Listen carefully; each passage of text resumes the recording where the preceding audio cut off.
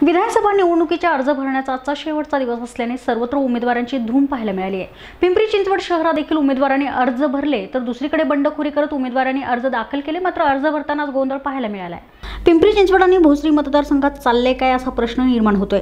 पिंपरी मतदारसंघातून राष्ट्रवादी काँग्रेसच्या तिकिटावर अण्णा बनसोडे यांनी उमेदवारी अर्ज भरला मात्र सोबतच सुलक्षणा धर यांनी देखील राष्ट्रवादीची उमेदवारी मिळवत उमेदवारी अर्ज भरला आहे दुसरीकडे चिंचवड विधानसभा मतदारसंघातून राकाला ते कलाटे यांनी अपक्ष उमेदवारी अर्ज भरलाय. चिंचवडमधून राहुल कलाटे हे भाजपचे आमदार लक्ष्मण जगताप यांच्या विरोधात लढणार आहेत. तर भोसरी मतदारसंघात अद्याप ही राष्ट्रवादीची उमेदवारी जाहीर झाली नसल्याने भाजप आमदार महेश लांडगे यांच्या विरोधात रिंगणात कोण उतरणार? यावर सध्या जोरदार चर्चा आहे. मात्र विलास लांडे आणि दत्ता साने यांनी देखील अपक्ष उमेदवारी अर्ज भरलाय.